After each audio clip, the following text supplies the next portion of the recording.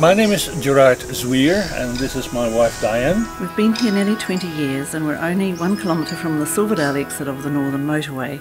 The house is set back from the road down a long drive which has liquid amber trees on each side. That was why we named the, the house the Ambers or the property the Ambers. Our bed and breakfast lies just 20 minutes north of central Auckland and about 40 minutes from Auckland International Airport. Although we're just a few minutes drive from a local village called Silverdale and less than 10 minutes from the beautiful seaside resort of Orewa, we're very much situated in the New Zealand countryside. On the first floor, we have the Regency Room, which is a lovely formal and romantic room. It looks out over the fountain in front of our house and the liquid ambers. It has a very nice ensuite with a large shower. Opposite the Regency Room is the French-style Blue Room, this room is a little smaller than the Regency room, but it has a larger bathroom with a small bath and shower. Both the bedroom and bathroom have beautiful views over the garden down to our native bush and stream.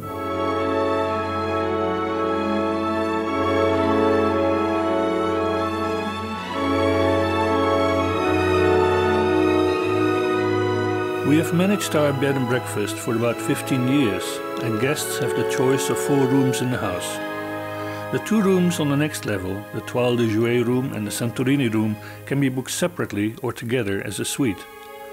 The Toile de Jouy room is again decorated in a very romantic French style. Across the hallway is the Santorini room, which is a little smaller with two single beds and an alcove with a small bed and cot. The bathroom features a beautiful old clawfoot bath as well as a shower. In a separate building across the courtyard, we have transformed the back of the barn into a self-contained area which we call the barn studio or gîte. I've designed the interior in a, an Italian barn style. It's a little more casual than in the house and people can make their own breakfasts. We provide the produce and they could also, if they wanted, have a light meal there in the evening. There's a table and chairs inside and some lovely areas to sit outside. We get quite beautiful sunsets and there's an oak grove that Gerard planted a number of years ago as well to look at. So it's a very special place. Downstairs in the library and in the lounge we have wireless broadband internet access, which guests can use free of charge. It's good communication with the people who have been left at home. This is particularly useful for international travellers. Over the years, we've had many comments in our visitors' book about our breakfasts. We use fresh, locally grown fruit where possible. Gerard's cooked breakfasts are always appreciated, and his homemade bread is delicious.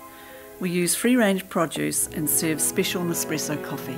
We welcome you to our place. We hope you take some time to look at our photos and what we offer here. We provide a very nice, tranquil environment in a sophisticated, elegant sort of house. So we look forward to seeing you, we hope. Thank you.